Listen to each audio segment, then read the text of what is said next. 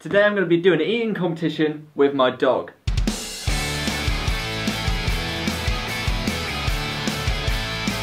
So I'm here with Barney, my dog. Hello, say hello Barney, go on. Hey. And today we're going to be doing an eating competition. I can't beat normal people, so I thought I'd go against my dog. Yeah, you're looking very impressed. Uh, usually just has normal dog food, so this is going to be his bar mitzvah, Christmas, and Hanukkah, and all sorts of stuff, all in one tiny little package. We've got meatballs.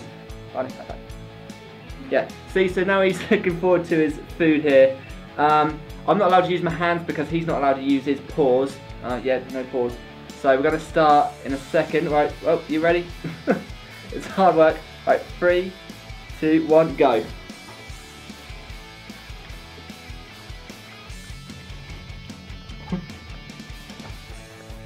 You're right, Brian. It's so hard to do no-handed. It's getting so messy.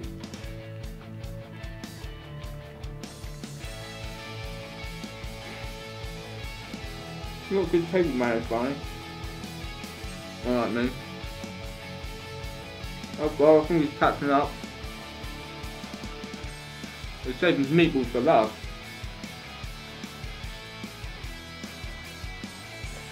Alright, I see the tactic, Barney. Sneaky bastard.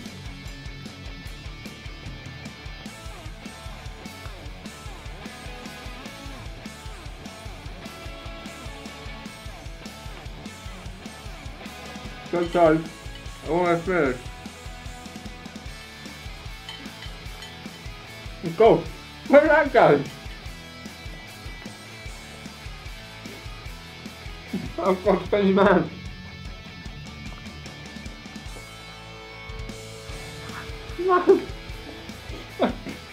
He's finished, isn't?